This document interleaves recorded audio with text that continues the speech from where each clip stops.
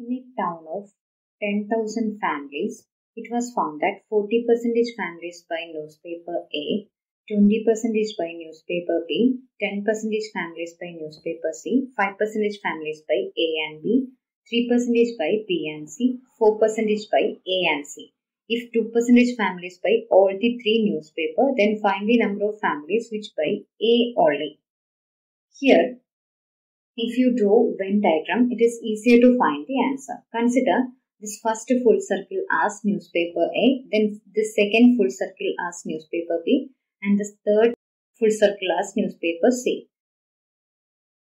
Now, those who buy newspaper A and B is this intersection portion, that is A intersection B. Now, those who buy A and C is this portion, this intersection portion, that is A intersection C. Those who buy B and C is this intersection portion that is B intersection C. Now, those who buy all the three newspaper is this trijunction portion that is A intersection B intersection C. Now, there are total 10,000 families and 40% of families buy newspaper A means 40% of 10,000 is 4,000 because 10% of 10,000 is 1000 then 40% is 400,000 4,000.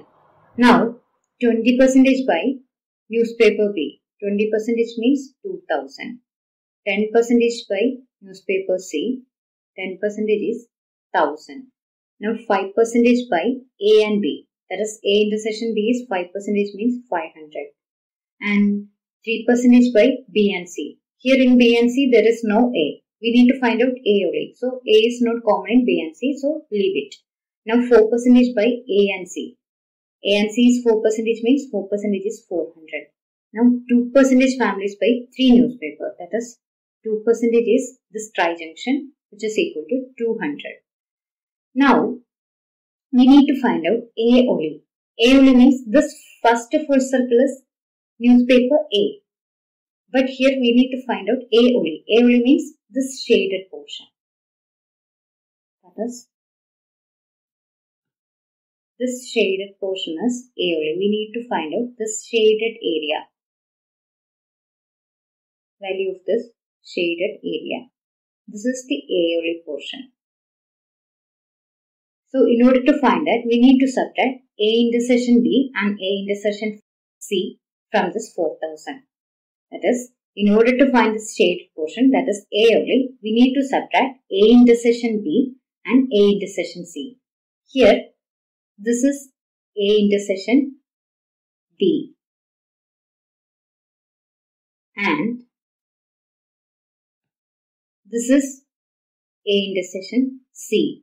But here you can see when you add A intersection B and A intersection C, you are adding this trijunction portion two times. That is, when you add this 500 and 400, you are adding this 200 two times. So, to find this portion that is A intersection B and A intersection portion that is this green portion you have to subtract 1 200 from this total 900 that is when you add this 500 and 400 you are adding this 200 two times so in order to find this green portion, you have to subtract 1 200 from, that is 1 trijunction from this total 900. So, here A only is equal to, A only is equal to total full circle is 4000 minus A intersection B is 500 plus A intersection C is 400 but here we are adding 200 two times. So subtract 1 200 from it. So total this green part is equal to 500 plus 400 minus 200 which is equal to 700. So subtract 700 from 4000 which is equal to 3300. So option D is your answer. A is equal to option D 3300.